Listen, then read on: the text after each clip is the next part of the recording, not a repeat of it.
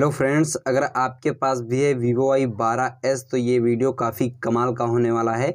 आज की इस वीडियो में मैं आप लोगों को बताने वाला हूँ वीवो आई बारह एस मोबाइल में ऐप को हाइड कैसे किया जाता है। क्योंकि दोस्तों वीवो आई बारह एस मोबाइल में हाइड ऐप का ऑप्शन नहीं था, मगर अपडेट होने के बाद दोस्तों ये जो है ऑप्शन आ चुका है। और तो चलिए मैं आप लोगों को बताता हूँ कैसे ऐप को हाइड किया जाएगा।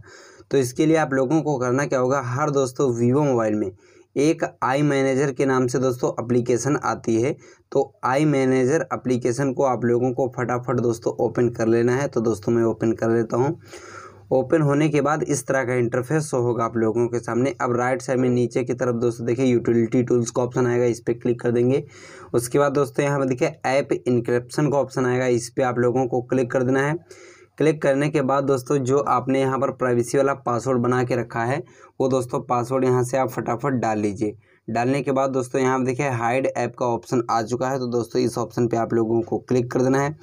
क्लिक करने के बाद दोस्तों, यहाँ पर देखिए व्यू हिडन ऐप्स का दोस्तों ऑप्शन आएगा तो दोस्तों, इस टिक को आप लोगों को ज़रूर इनेबल कर देना है। इससे आप हाइड वाली ऐप चला पाओगे। उसके बाद दोस्तों, यहाँ पर सारी एप्लीकेशन आ जाएँगी, जितनी भी एप्लीकेशन आप लोगों के मोबाइल में इंस्टॉल हैं। तो दोस्तों, जिस एप्लीकेशन को आप लोगों को हाइड करना है, वो एप्लीकेशन आप सेलेक्ट कर लीजिए। मैं एग्जांपल के लिए सी बैंक को हाइड करूँगा, इसके सामने टिक बनाए, इस टिक को इनेबल कर देंगे और उसके बाद कन्फर्म यहाँ से कर देंगे। तो दोस्तों, यहाँ पर देखिए सी बैंक पूरी तरह से हाइड हो चुकी है। तो दोस्तों, ये तो रही बात ऐप हाइड करने की। अगर आप लोगों का मन हुआ चलाने का तो चलाएँगे कैसे? दो उंगली लेना है स्क्रीन पर रखने के बाद ऊपर की तरफ़ स्लाइड कर देंगे। उसके बाद दोस्तों, जो आपने पासवर्ड डाला है वो दोस्तों पासवर्ड डाल देंगे। उसके बाद हाइड वाली ऐप यहाँ पर आ जाएँगी।